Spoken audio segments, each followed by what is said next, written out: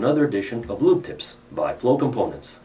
On today's episode, we're going to review some of the questions you should be asking whenever you source an automatic greasing system. With more on that, we go to Mike. Mike?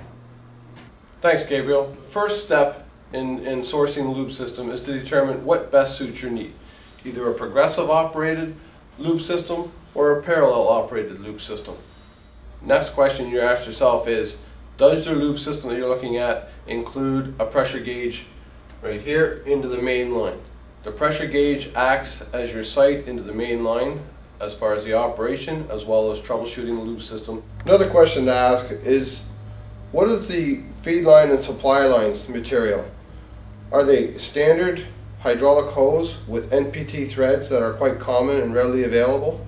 And do they have swivel ends to help you in, in troubleshooting as well as assembly, priming, and flushing? Next question you should ask yourself is, does my system have high pressure grease filter located on the main line outside of the pump before your metering valves? This will reduce contamination and possible system failure. Next question you should ask is, does your lube system include high pressure grease fittings for each individual point, as we see in this valve here, as well as on the injectors here. Those help you prime, flush lines, and aid in troubleshooting as well. Another question to be asked is regarding the pump package itself. Is it 12, 24 volt DC electrically operated, which allows you to install the system without having to tap into the hydraulics or the compressed air lines on the machine? Does the reservoir have a revolving paddle or follower plate on top of the grease?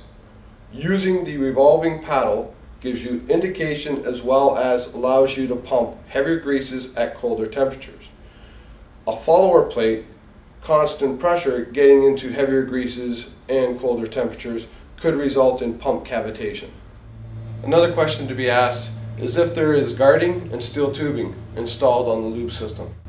As you can see by this picture, ideally if you could have steel tube with guarding over top and standard compression fittings, this makes your system readily field serviceable in case of problems, lines breakage, or blockage.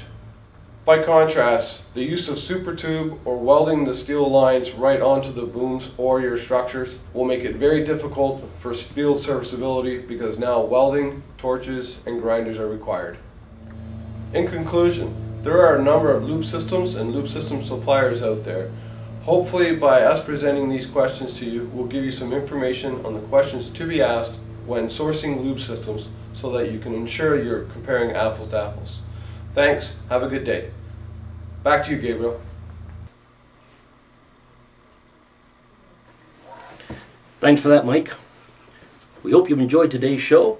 For more information and tips, check out our website, flocomponents.com. Until next time, thanks for watching.